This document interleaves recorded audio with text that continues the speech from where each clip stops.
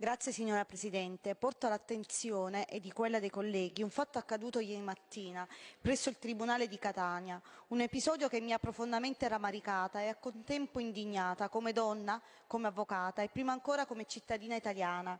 Mi riferisco alla frase e allora scelga se fare l'avvocato o la mamma, rivolta da un giudice, uomo, del Tribunale di Catania in pubblica udienza a un avvocato donna e madre di due figli che si era limitata dopo una mattinata in cui l'inizio dell'udienza era stato per discussioni d'ufficio posticipato ripetutamente, a chiedergli di conoscere l'ordine dei lavori con cui intendeva procedere nella trattazione delle cause. Una richiesta di conoscenza si basi, non di preferenza. Un modo di procedere che, come ricordano anche altri professionisti del foro etneo, rispondeva alla prassi quotidiana. Una richiesta del tutto legittima e che l'avvocata avrebbe avanzato non solo perché preoccupata che un ulteriore slittamento d'orario l'avrebbe impedito impedito di riuscire a prendere figli a scuola, ma in generale per dare a tutti gli avvocati presenti la possibilità di organizzarsi al meglio.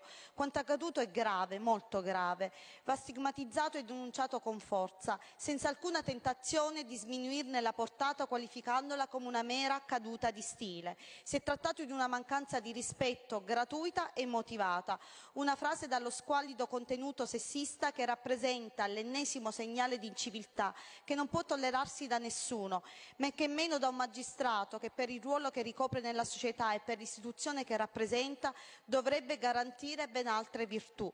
La negatività dell'episodio emerge ancora più evidente oggi, una giornata molto significativa per il nostro Paese, in cui assistiamo all'elezione di, di Marta Cartabia a Presidente della Corte Costituzionale, prima donna a raggiungere il vertice della consulta.